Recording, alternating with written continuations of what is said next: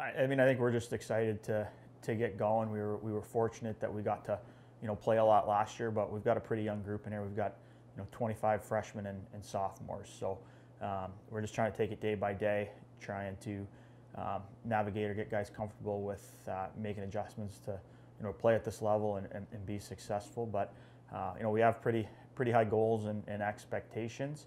Um, we just need to make sure we're continuing to kind of you know put the work in we need to to get better every day. The, you know, the exhibition games went um, and we won both, which is which is a good thing, and I, I, think we can take we got a lot to learn from both of them, and I, I think we've got some definitely some positive things from both of them as well it was again, it was good for our guys to you know get out there and, and, and play and, and, play against you know not play against have to play against themselves, uh, but just you know with with so many new faces and, and so many young guys, just every every ounce of experience helps.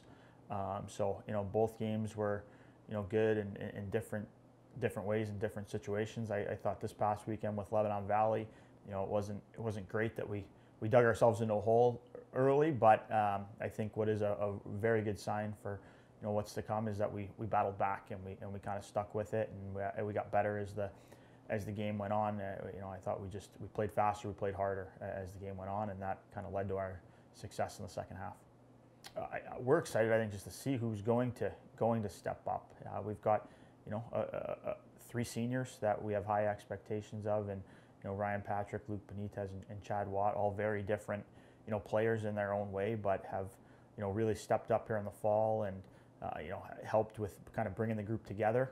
Um, you know, Mac Lowry will be a sophomore. He was rookie of the year in our, our, league last year. We've got you know high expectations of of him. Ryan Kenny has been you know the backbone here in net for the last last couple years. So um, looking for him to you know kind of continue the the trajectory he's been on and, and, and, and just kind of be a guy that we can count in count on night in and night out. Um, but also Marco Sturma played the you know got got some experience in the in the exhibition game at, at Wilkes and you know, played really, really well. So um, I, I, think uh, the strength for us is going to be it's, it's going to be a competitive lineup for us every night. So uh, you know, guys pushing each other every day to you know kind of see who's going to you know see who's going to put their best foot forward. It'll, it'll be kind of a fun thing to watch.